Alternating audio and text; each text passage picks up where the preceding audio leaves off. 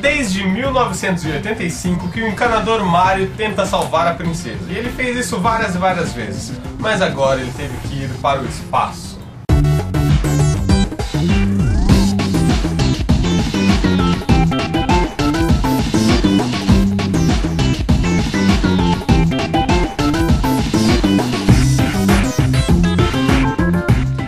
Desde o começo da década de 80, este encanador não se cansa de resgatar a princesa das garras dos chefões com cara de tartaruga.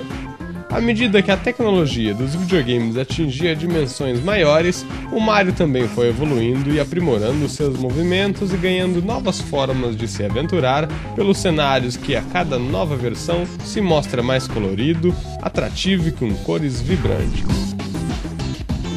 Os movimentos 3D adquiridos no Mario 64 abriram alas para os jogos 3D da Nintendo e agora na versão do Nintendo Wii, os fabricantes abusaram dos movimentos em terceira dimensão.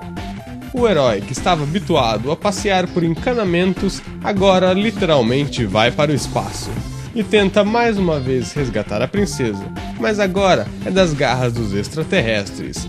Isso mesmo, seres de outro planeta. Planeta é o que não falta neste jogo, sendo eles de vários tamanhos, alguns são menores que os seus próprios habitantes, e outros têm um tamanho razoável para uma bela criação de pôneis. Enquanto Mario anda, a câmera o acompanha de longe e vai girando junto com as rotações dos planetas, dando a impressão de jogabilidade diferente dos jogos tradicionais em terceira pessoa. As cores são bem marcantes e bonitinhas, assim como todas as versões do Mario, e elementos que chamam atenção não vão faltar para ilustrar e embelezar o jogo. O Mario agora pode arrastar os itens da tela, e não só correr e pular como de costume.